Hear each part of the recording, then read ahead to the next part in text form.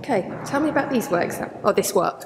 Um, Single piece. Yes, for this, this work, um, I wanted to. I actually started by making these jigsaw puzzle um, the same way as the other paintings, meaning they were on a, on a rectangular frame, and then I thought that the shape was so interesting, so I thought, why not make the actual uh, jigsaw puzzle piece, the, the, the frame and the canvas. Um, so I decided to print them on the plexiglass. Um, what I really liked about the, the, the, material is this very this uh, glossy effect, and also very um, the more sculptural uh, aspect they have also as well in the way that they're placed. So I wanted to place them in this corner to create this conversation um, between the two imagery, but also uh, between the two material.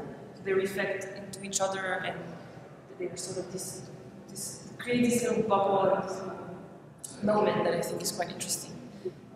And it's something. It's a, it's, a, it's the first time that I uh, use this process.